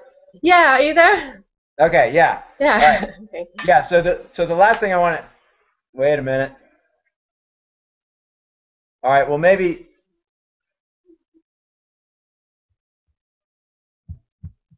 technology there we go. There we go. okay All right. Uh, uh, hopefully, it'll let me get this last question in, Lily. Um, and thank you so much for all your time. I appreciate you taking the time to do this. Oh, no Um, problem. This has been great. Thanks for having me. Uh, Tails will come to say hello. This is Oh, Tails, the, Tails the vegan dog. All right. Um, so the question is, you know, now that you know what you know, how do you navigate society in a way that uh, allows you to, to, to visit loved ones, to, to be with mm-hmm. family, to go to a, a social occasion. Uh, how do you how do you decide when to talk about these issues and when to remain silent? Um, how, how, do you how do you live this way without alienating people? Um, how do you do it? It's really difficult, um, and the thing that, that, that sort of makes me optimistic is um, I met someone um, recently who'd been vegan for seven years, and she said um, like, you know, you just keep experimenting and eventually you get pretty good at convincing people to become vegan and, you know, like not offending them. So I thought, okay, there's hope because, like, I'm guaranteed to have lots of chances, you know, like for this, this um, topic to come up. So, um, um, in my kind of immediate everyday life, it's, um, it's not, it's not really a problem um, because sort of my, the friends that, the friends that I have, like, two of them are vegetarian, um, and they like you know are kind of vegan friendly. Um, and one of them, like you know, I don't I don't really like sort of we don't go out to eat dinner at each other's like houses, so it's not um, really a problem. And then at, at university, it's it's fine. Um, you know, um, I, I, like that term, Lily, uh, vegan friendly. I like that. well, one of my friends, this was like kind of one of the first um, sort of quandaries that I had was um, we're working on a project together, and so we were like we were meeting, um, and um, like before I was vegan, um, we sometimes like used to get um, like coffee for each other. So like you know, she, like she would bring two lattes or something, or I would bring two lattes, and so so I asked her um, um, if if um, she wanted coffee on the way, and she said yes. And then I thought like, oh my god, I really like I don't want to buy coffee with milk. So I just bought two soy lattes and brought them, and I was like, mm, what will I say? And um, so I said to her, like, here, here you are, uh, you have either one. and she said, which which one has normal milk in it? And I said, um, neither, because like since I found out how cruel it is, I can't buy milk anymore. I'm sorry. and um, and she was like, that's okay. I, like I, I've had soy milk before. I'll have the soy milk. So I was like, oh that went well because I like I was really really nervous and and then I thought like okay like if somebody asked this was the next thing I was worried about like at work if you know like if if I was going to the like cafeteria or something I know I'd say do you want me to bring anything back for you um, and this is another thing that like when I was a vegetarian I, like I didn't mind if somebody asked me like can you bring back you know like something with meat in it I like I didn't really think about it and now like I was just like I, I can't like I don't want to give money for those things, even if it's not for me. Like I just, you know, like it kind of feels like it would be condoning it. Um, yeah, I can so, I can relate, Lily, and and I'm in a situation where I I care for my mom, and uh-huh. I have and I have to cook meat for her, and oh, it's really difficult. It, it's really a drag. It's really a drag. Yeah. Oh, I really sympathize. That's yeah. that's really tough. So, I think yeah. So far, I've just kind of avoided that situation, but I know that except for that one time. Um, but yeah, I know that that's going to happen again, so I'm kind of nervous about how to handle it. And you know, I'm I think I'll just say something like I'm I'm really sorry. Like I. Um, like I, I, you know, like I can't buy meat anymore. Is there something else that I could get, or, or something like so that it's not doesn't cause offense, but like I really yeah, I, I really I respect that. That's that's awesome. I love that. I mean, my my hope is that that will somehow, if I can do it in a way that doesn't annoy people, which will be the challenge. But um, you know, like if I can do it in a way that seems somehow like you know inoffensive, that it might do something to make people think like, oh, you know, like it, I, I don't know, it's like something that I kind of want to take a stand on. Um, and then yeah. in terms of the family, like my mom obviously is fine because when I when I, I told her that we'd gone vegan and I was really excited about it, she said, "Oh, I thought you were already vegan anyway. and I was like, no, I'm a vegetarian. And she was like, oh, okay. And so um, that's fine. Um, but going to visit James's family, which we, we haven't done since since we've been vegan, I think that's that's going to be a challenge because it was already enough of um, enough of an issue. And he he'll tell you more about this. But you know, like when we were vegetarian um, and we were going to visit them, like his dad's wife wanted to know what to get us, and like and like James's dad was like, fish, that's okay, isn't it? And James is like, no, fish isn't a vegetable. and um, so then, and we saw them actually right before we we went vegan when we were thinking about it. And, and I said to James's dad's wife that we were thinking of going vegan, and she was like, so what? You wouldn't eat, eat like Quorn anymore because um that was like the staple. You know, Quorn Q U O R N. It's Yes, brand yeah, of, yeah, like yeah. you know like. Um, and it, it has eggs in it, so that used to be like one of our staples before we became vegan. Which is another benefit of becoming vegan is that like we gave that up because it's not like it's processed and it's not very good. Um, Yeah. And um, so she, so like she was just like completely baffled by the concept that like, she- and she's like, but what you eat? And um, so hopefully the next time we go there, we'll be like kind of prepared, and well, I mean, we'll have to be, but you know, we'll have to like kind of explain. Um, and I think Right. that will be like more more of a challenge, um, because I think that like they thought, well, like they don't eat meat, but this there's this meat substitute which kind of looks like meat, and so like they always just made us Quorn things, and so now, and so now she's like, if you don't even eat Quorn, like what what do you eat now? um, so yeah, and Yeah, then you um, know- yeah. Yeah, it's like I, I always I don't want people to have to go to a lot of trouble, and you can you can usually have something that's not meat. You know, they there's usually salad or something. You know, so. That's the thing is like yeah it's like it's so simple. And i think often as well like i've, I've had this reaction from people like saying oh but like to like cooking vegan food would be so complicated. It would take so much time. And i was like but why? It's so simple. Like you can have it be as simple as you want. I mean because yeah i'm thinking of just saying to them like just you know get us some bananas and potatoes and we'll be fine. Um, so um, and, I- and I think then, like, you know, that they'll be like, but that, like, they won't, I think that they wouldn't compute that as food. Just like 20 bananas, you know, like, and like, you know, giant bag of potatoes. we'll, we'll be okay. Um, so, but I kind of like, uh, um, in some ways, I look forward to things like that because I, I like to kind of have the opportunity to show people that, like, have never been exposed to anything like that before, that it's really fine and, um, you know, it's it's not difficult and it's not a problem and, um, somehow like maybe kind of you know a little bit raise awareness that way. yeah, Um, definitely, definitely. All right, Yeah. Lily, man, we we've covered so much. Uh, Thank you. You're awesome, awesome uh, rep- representative of veganism. So so thanks for taking the time. Oh, thank you so much. And and I do. I hope you'll do some of your own videos. Would love to see that. And um, I look forward to talking to James. And Yeah. if, if you're ever up for it, maybe we'll do a couple months down the line. We do a follow up or something. Yeah, that would be great. No, this was really exciting, and like I said, because I've been watching these interviews for so long, it just seems kind of like it's like a dream to come true to like take part in one. It's really exciting. So, thank Well- you. It's really fun, and you're you're just a fountain of information. So thank you.